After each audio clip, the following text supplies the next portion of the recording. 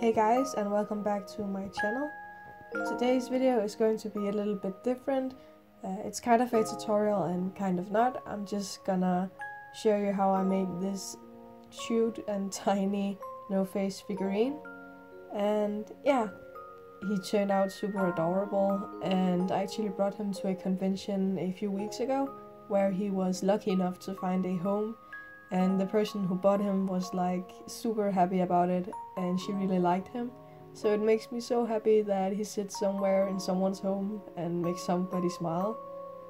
So that's really nice. So i'm not gonna talk too much for now. I'm gonna come back towards the end of the video. So until then i hope you guys enjoy this follow me sculpt this no face figure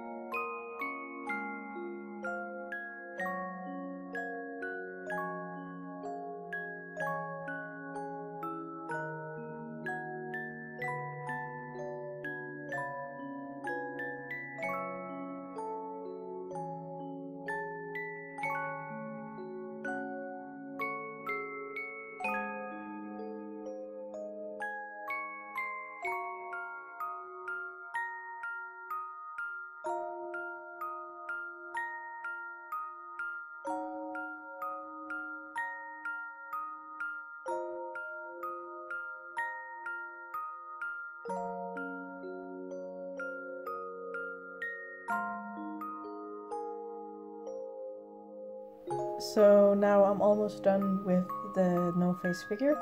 Just gonna finish it, finish it up with some paint and glue on the pieces. So I hope you guys enjoyed this simple style kind of tutorial slash follow me make a figure video. I'm planning on making more of these because they're super simple to make and I don't have a lot of time on my hands at the moment. So it's just a simple way for me to put out videos. So I hope you guys like this format. So yeah, I hope you guys enjoyed watching. Make sure to leave me a thumbs up and a comment down below if you did. And yeah, until next time, remember to keep crafting guys. Bye!